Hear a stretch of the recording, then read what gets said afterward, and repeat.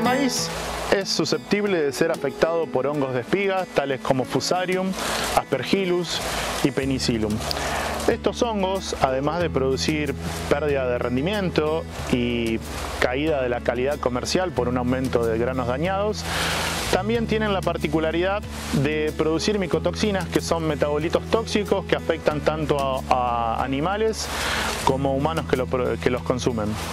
Eh, la caída en la producción se debe normalmente a una caída en el consumo de los animales y a un estado de inmunodeficiencia continuado que deriva en mayor incidencia y severidad de enfermedades de rodeo.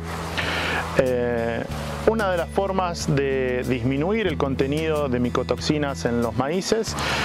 es eh, evitar que pasen periodos prolongados en el campo a la espera de ser cosechadas las espigas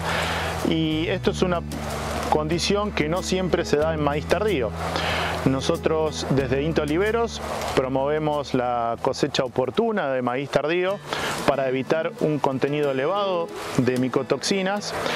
y a su vez estamos investigando cuáles son los factores que determinan la velocidad de secado del maíz para poder eh, cosechar oportunamente y si esto está asociado o no con características que confieren una mayor resistencia a hongos de espiga.